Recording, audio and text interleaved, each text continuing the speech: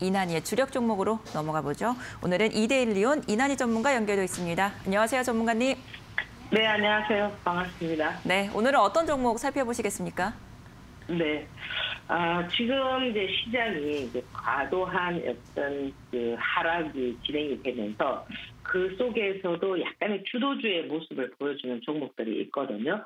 어, 사실 이 주도주라는 거는 시장보다 강하게 움직이는 것이 주도주가 될 수가 있는데 어, 뭐 지난 금요일 보면은 뭐 카카오라든지 신풍제약이라든지 이런 종목들은 낙폭 과대한 기술적 반등 이런 정도로 본다면은 어, 주성 엔지니어링이라든지 반도체 중에서 그죠?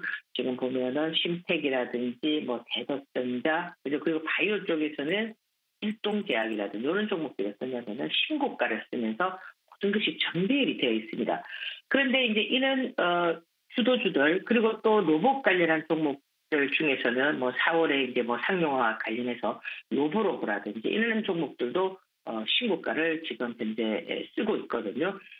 어, 이런 종목들의 흐름도 어, 지금 보면은 시장이 가장 지금 어, 핫 이슈가 되고 있는 부분이 우크라이나와 러시아 관련한 그런 부분들인데 이 부분들도 지금 이 주도주들이 어떻게 움직이느냐면은 요와 관련해서 움직인다라는 겁니다. 그러니까 어, 얘들이 조금 강하게 움직일 때는 좀 숨을 죽이고 있지만 조금만 어떤 모멘텀이 형성이 되면은 강하게 돌출할 돌출해서 신고가를 쓰는 이런 것들이 주도주인데 저는 아직까지 이그이 주도주의 어떤 흐름들이 나오고는 있지만 어 그 우크라이나와 러시아에 일어났던 부분들을 여러분들이 잘 해석을 하셔야 된다. 아직 이런 부분들이 완전히 해소가 된 부분이 아니기 때문에 지금 보면은 그와 관련해서 움직였던 뭐 에너지 관련한 종목들, 뭐 대성 어, 천연자원, 어, 대성 에너지라든지 GS라든지 또는 원유 쪽에서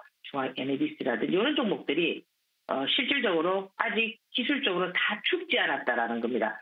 그런데 에, 지금 보면은 이제 에, 금융 제재가 지금 들어가고 있고 다음 단계 이 금융 제재도 그렇게 강한 흐름은 아니지만 완전히 목을 조는 이런 흐름은 아니지만 또 거기에서 또 경제 제재가 들어갔을 때는 물론 이런 원유들은 먼저 움직였지만 또 후발로 또 알루미늄이나?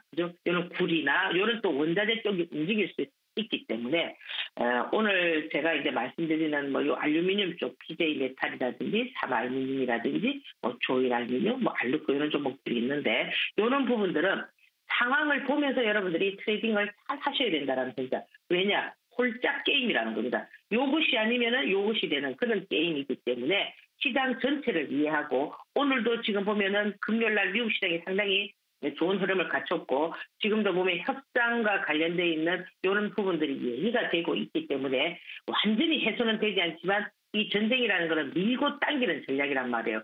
누가 더 기선을 잡아서 그죠 가장 고지에 섰을 때 좋은 협상 카드를 내야만 자기한테 유리한 그게 되기 때문에 이런 부분들이 지속적으로 아직 진행이 되고 있기 때문에 조금 더 어, 관심을 가져도 어떨까 해서 여러분들에게 오늘 이번 주 전략 말씀드렸습니다. 네, 오늘 말씀도 잘 들었습니다. 예, 감사합니다.